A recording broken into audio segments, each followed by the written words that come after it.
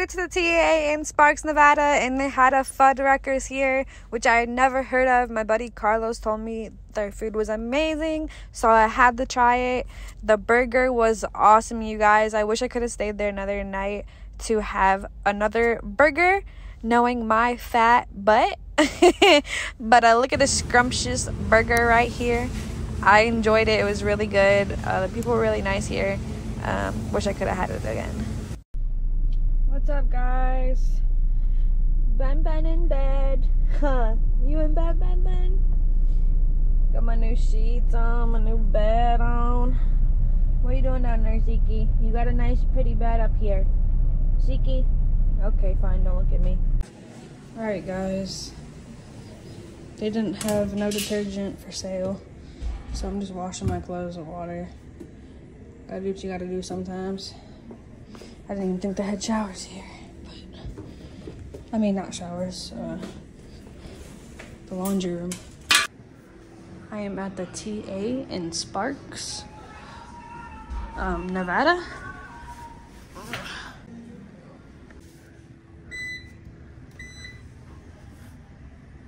So I still got this load going to the military base in Herlong, California. I'm about an hour away. I am at the TA in Sparks, Nevada.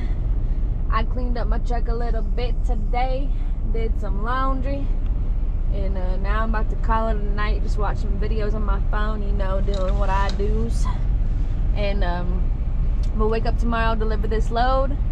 It is a military base, so I heard it is gonna be a process, give you background checks and stuff. Um, and uh, it takes a little while to get unloaded there so I don't know if I'm gonna get a reload so it kind of sucks but um we will see tomorrow see ya see ya wouldn't wanna be ya oh, oh. Do I go night night, bun? Do I go night night? Yeah. Oh, you sleepy tonight.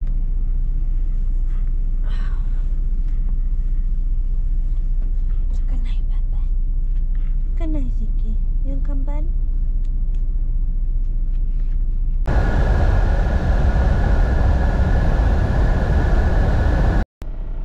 Alright, you guys. Good morning. We made it to the military base today. Um, I just brought them all my info at the check-in, uh, like the the check-in area before you go into the actual military base but I did not get approved to go onto the military base because I have a warrant for my arrest in Nebraska. I'm a real outlaw. I'm just kidding. so, um, I had a warrant for my arrest in Nebraska for going into a weigh scale and not weighing. Um, so they gave me like a traffic ticket. Um i was confused. It was nighttime. I didn't know what was going on. So i just went through the scale. I wasn't trying to run away. I wasn't doing it purposefully um just saying. But i did end up paying that that ticket but i paid it late so the court actually issued me another warrant um, for my arrest because I paid it late and um, a $250 fine, which is what they're not letting me in this military base for. So, um, yeah. So, the cop came in. You can't record inside there, obviously, so I'm recording in my truck. But um, the cop came in. I waited like 40 minutes for my background check. The cop came in and he was like, Rebecca? I was like, yeah. He's like, did you know you have a warrant for your arrest in Nebraska? I was like, uh-uh. And, um, so I had to, anyways, long story short, blah, blah, blah, I'm horrible telling stories. I called the, I found the contact number for Nebraska court and I called them and asked for like the citation number and everything. So, um, I'm gonna have to get that paid here today to be able to deliver this load, you guys. And um, they also said I could have another driver take my truck and deliver the load for me, but obviously we'd have to pay them money to do that. Um, but I'm not too comfortable with doing that. You might as well just pay the warrant, right? Whoop. Um, and there wasn't any flatbed drivers out here when I first got here. Was just van drivers, so that really wouldn't have worked out too good for me. So yeah, I just gotta pay my warrant and um have the court fax it to them and then they should let me in and it wasn't too busy when I first got here but there was like two trucks two drive-in trucks in front of me when I first got here and now there are a bunch of trucks there's like three flatbeds on this side of me now there's three reefers over here so uh it's gonna be a long day folks long day give me that ball Give me that ball. bam, bam, give me that ball. Give me that. Get the ball from him. Don't attack me. Alright, 101 Eagle. I just want to take a shout out to you and say thank you so much for these silverware that you gifted me and my family because they just came in clutch. I'm about to wash them off and um, I totally forgot that I had these. I was trying to cook me some ramen noodles, but I'm like, I can't eat my ramen noodles if I don't have a fork and a knife because I always cut my ramen noodles. I know I'm weird, but um, yeah, the dogs are going crazy right now. But I think I'm about to heat me up some ramen noodles and uh, grow while I wait for this warrant to be paid. Alright guys, so I did not eat my ramen noodles yet. I decided I want to straighten my hair while I'm waiting this is just some of the stuff that I do in my free time. My hair is a mess right now. So I'm just gonna try to make myself look more presentable to these uh, military men. No, I'm just kidding. I'm gonna make myself look more presentable um, to be outside in the public. Um, so I'm about to straighten my hair and um, while waiting, this is just some of the things that we do as um, a female truck driver sitting and waiting on our downtime. All right, I'm about to rake, rake, I'm about to make my ramen noodles in my five-star kitchen. You ready to see this crazy shit, Zeke? You ready to see this go down? Huh? You ready to see me make some ramen noodles? Mm -hmm. Yeah. Here. Hold on to your toy while I cook. Alright. You already know. I got the beef. I got the beef.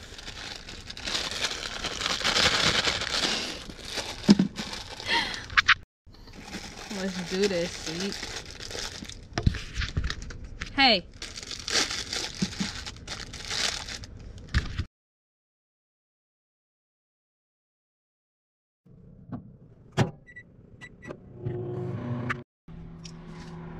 now we just waiting. This is Becca's episode of teaching y'all how to make the best bowl of ramen noodles you've ever tasted in your life. Let's go. Four minutes, people. Four minutes. But so I'm just gonna clean my forks. And my hey, you don't bite that. That's my spoon. What the heck, man? That's metal. Or stainless steel, whatever. All right, I usually dump out like half of the water, but I'm gonna keep it today because I feel like I'm gonna need some extra juices to drink because I'm gonna be really hungry sitting here for hours at this military base.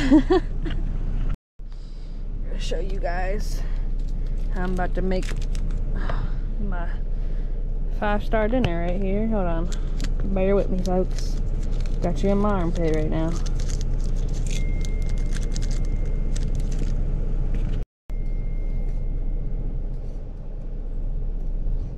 Ooh, look at juice. Look at that juice.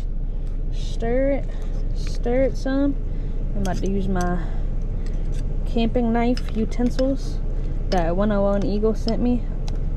Oh, are they cutting? Is it cutting it? Am I cutting it wrong? Come on, peoples. This is what happens when you get stuck in a military base. I don't think this...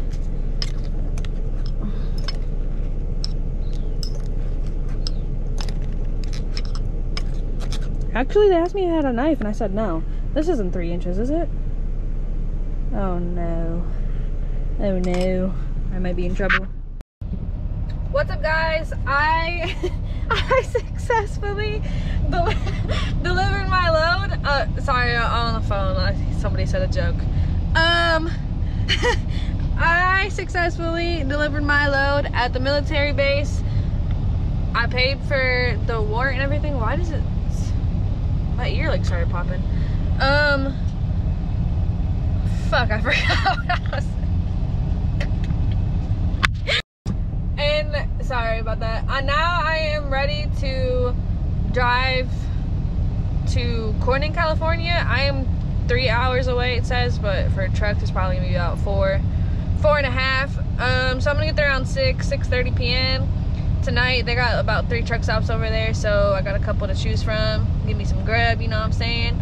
So I'm about to head out, and uh, I'm picking up, the load I'm picking up has two pickups, so this is gonna be different. This is my first time doing that.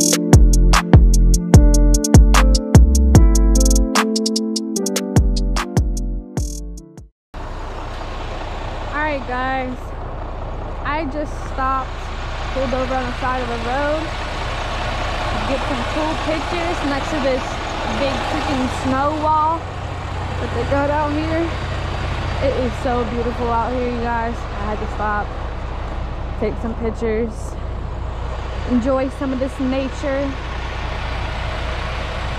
I can't believe I'm seeing walls of snow this big, this high. It's the first time I've seen something like this. So I am kind of shocked. so I had to stop and get a good look. And then I'm about to head back out on the road to my pickup in Corning, California. This is 36. Um, coming from Herlong, California. I think it turns into 89 if I'm not mistaken. Uh, Benji and waiting. I'm about to get back in the truck because I want to get there before dark off this road. What's up guys? I parked at the Petro in Corning, California. I'm about six miles from my pickup. Um, so I went in, got some dinner at the Iron Skillet. So now I'm about to head to sleep, get some Z's, wake up in the morning, pick up my load, my first pick, and then I'm gonna head to my second pick over in Oregon. Let's go. Good night, guys. So always gotta say good mornings to mamas, huh? Always gotta say good mornings. Yeah. I love juice. I love juice. Yeah. Good morning, Ziggies. Now mama gotta steer the wheel now. We gotta get out the way. She go, we gotta go to our first pickup, guys. Yeah. We Okay, go. Good morning, guys. 6:30 a.m. here in California. About to pick up my load in Corning at a lumber place, Sierra Pacific. Some of y'all might know. Some of y'all fellow flatbedders. I'm about to. I got my Sunny D. I'm about to drink some of my Sunny D, and I got a little coffee this morning as well to start my day. Um, I usually get a little uh, protein bar, but they did not have my favorite protein bar here, so uh, let's get on the road, pick up this load. My first pickup. Let's go, guys. Give me paw. Z. You ready to go? It's the ride or die handshake. Let's go. Let's go.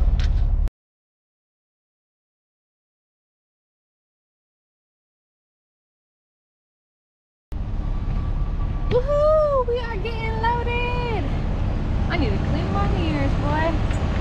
We are getting loaded at Sierra Pacific. I'm about to be getting loaded in slow motion.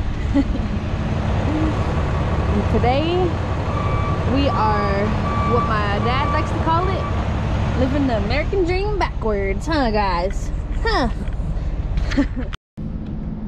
Alright guys, this is the load that I picked up from Sierra Pacific. This is my first drop, first pick. I mean, sorry. Um, so I'm about to get the strap in. My, I think my, I believe my second stop is a tarp load. So uh, this is not my tarp pickup right here. So got it easy right here. So I'm gonna get the strap in because I'm a big strapper.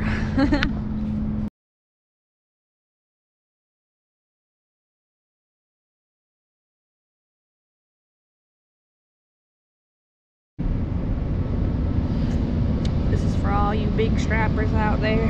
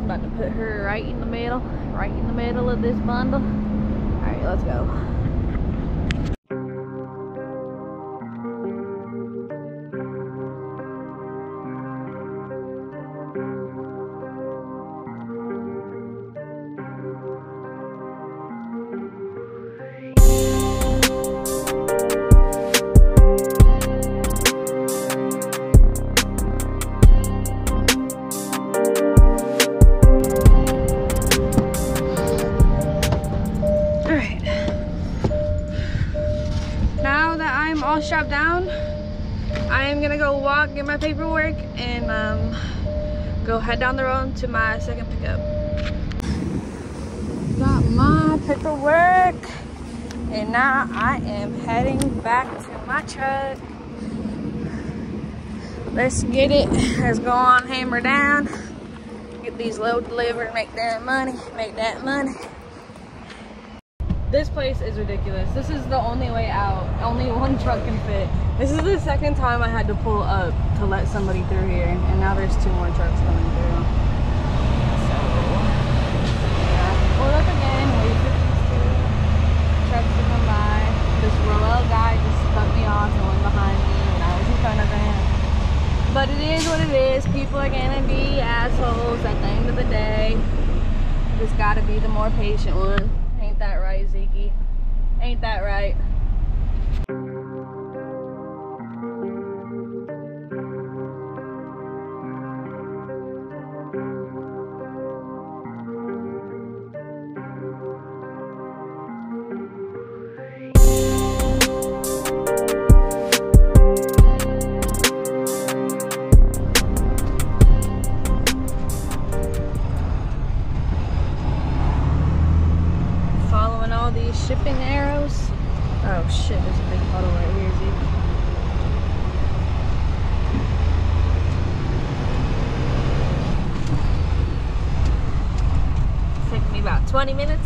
This to the shipping office. And they're about to close. Now this forklift driver's in my way. So the guy's acting like I did not have the right appointment number, um, a pickup number, I'm sorry. So, and he seems really upset because I got here like 30 minutes before they close. So I don't know if I'm gonna get loaded today for my second pick in Oregon. Um, also guys, it is my first um, time in Oregon also, so. This guy might come back and be like, that's the wrong appointment number and we're not loading you today. we're closed. Here he comes. So I had to take all of my straps off, the straps off my tarps off, so they can move the load up forward. And um, they're situating the whole load, they're changing everything around. So I had to take all my straps off, everything. I'm gonna have to roll them back up, rethrow them. it's gonna be a hassle but they are loading me today we got the load number so uh, that's the upside we are getting loaded today today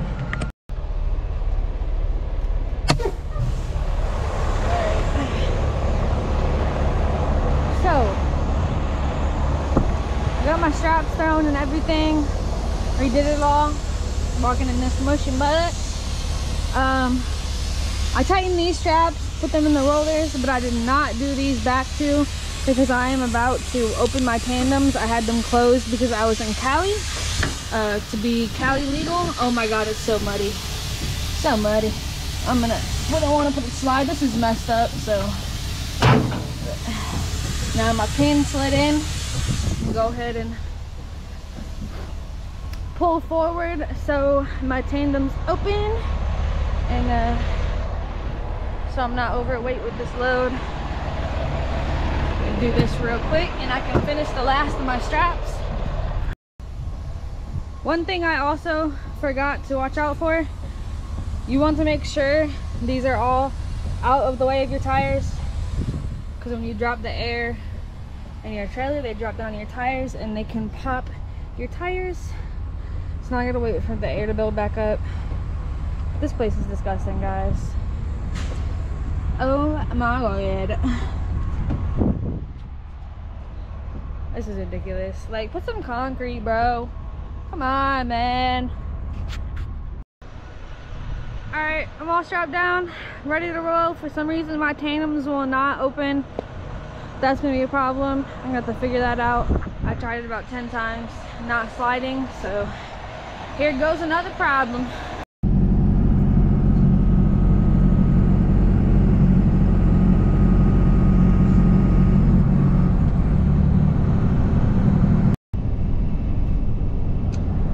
we are on 140 folks and this shit is small as fuck back here. I cannot believe I am driving on this road right now. I feel like I'm in Sweden this is like sweet this is like sweet Sweden roads right here thank god my tandem did not open Oh my G. Oh my G. Alright, so I found a little truck stop uh, after all those little small roads I was on. Get out. After like four hours and got uh, no. some Lunchable dinner. What's up, guys? Good morning. We are leaving this little Indian truck stop and heading out back on the road. I got 13 hours, 48 minutes left in my cycle, so I think I might be taking a 34 in Albuquerque. Yes, sir. Hey guys, what's up at the Loves in Nevada. I'm about to go ahead and take a shower. Got my shower bag right here because I'm stinky again. So, uh, see you when I get back. All right, let's go, guys. Got my duffel bag full of stuff. Yes, sir. This is the trucker's favorite part of the day because after it, you feel awesome. well, to me at least. Ooh, look at this truck.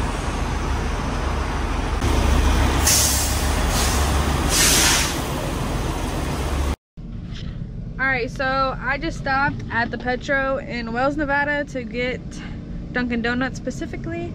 And um, this girl just in front of me just ordered everything off the menu, so I feel like I'm gonna be waiting here a really long time. She ordered like every single sandwich, a dozen donuts, like five drinks. like, what the hell? Like, it makes me upset. Like, I wish they could just have like restaurants like just for truck drivers, like to where like normal people like from off the road they can't come in. like, that's what I'd be wishing sometimes. So annoying. All right, that was like a 32 minute break right there just to get some Dunkin' Donuts. I got a bacon, egg, and cheese, and I got some hash browns. Ooh, ooh. I'm about to grub.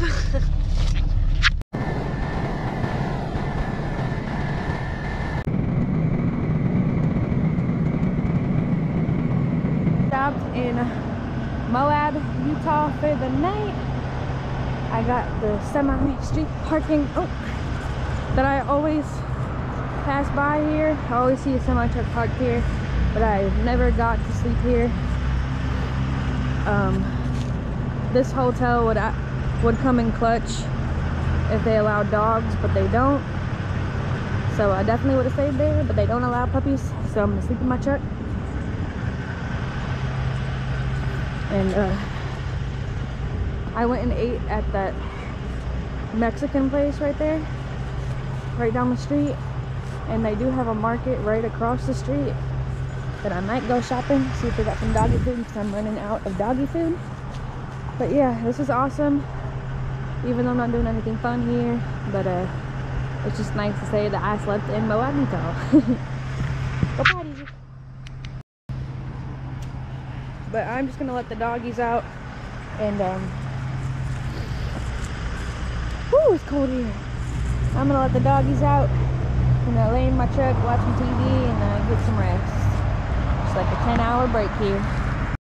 Are we in Moab, Utah, you guys? Are we in Moab, Utah, Ziki? Are we in Moab, Utah? Huh? Oh my goodness. I have been to Moab, Utah before. You smell the grass here. Yeah. Good morning, guys. Just woke up in Moab, and we are jaywalking, people. What a beautiful, beautiful morning in Moab. Parked right in front of a hotel. You know they love it. You know they love it. I'm recording me jaywalking and there's a cop coming. Sorry, officer. But I am crossing the street to go see if this grocery store has a bathroom. I see they have a Starbucks on the outside of the building. So that's always good news. I love me some coffee. Love me some good coffee. So I'm about to head in, use the restroom, maybe pick up some dog food, and uh, jaywalk back.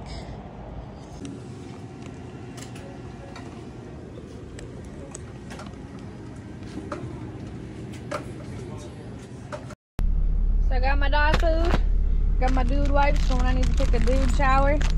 Um, this three pack was like $8.99 so I don't know if that's cheaper than the truck stops but oh well I got it Are you excited? It's just the same dog food. It's the same. Alright y'all, we are leaving Moab now.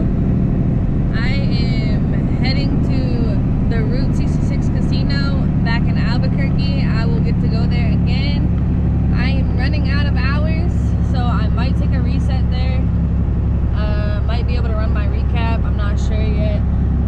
Might be able to run my recap for like a day, but then after that it wouldn't make sense because uh, I only got a couple hours for my my uh, next coming days that will be on my recap, so might as well take a 34 where I want to be. Alrighty, I made it to the Route 66 casino. I might take a 34 here. I'm pretty sure it's what I might do, but as you can see, my tandems are now open. They, um, I was having an issue with my tandems, trying to close them in Oregon. I opened them because I was in Cali. I didn't know that my trailer was broken. It has a broken. there should be a handle. oh shoot, sorry. there should be a handle right here. so I can put it up in slide mode and down to normal ride. And um, this made it to where my coworker had to come help me out. But that made it to where my coworker had to come out and um, help me at the casino. He had to hold this in so my pins would stay pushed out and um because they were just coming they were going in and they were coming back out because this knob was broken so uh I was just running the scales because I was most definitely overweight with my tandems closed with this uh, load about three four thousand overweight my dad said. So uh, that's not good. Do not do that. Because um, it is your fault. It would be my fault if I got caught. Um, but uh, thank God I had somebody to come out here and help me hold that in so I could open up my tandem so I wouldn't be overweight anymore. But this trailer does need to be repaired. I think something as minor as just the handle part being broken, I should be able to get fixed at a Love's or a Speedco, whatever. So, uh, it's freezing out here. I don't have a jacket on. But yeah, I am at the casino in Albuquerque now. Probably gonna take 134, so I'm gonna end this video here. And uh, I'll see you guys in the next one make sure you like, comment, subscribe, and uh, you guys are stupid. Get out of the way. Another thing, another thing I've been forgetting to tell people is I have an Instagram. Um, so I'm gonna start promoting that on here because I noticed I haven't been promoting my Instagram. Um, I have an Instagram, Big Rig Becca. Uh, just Big Rig Becca, no underscores, no nothing. So make sure you guys go ahead and drop me a follow on there and uh, see you guys. Peace.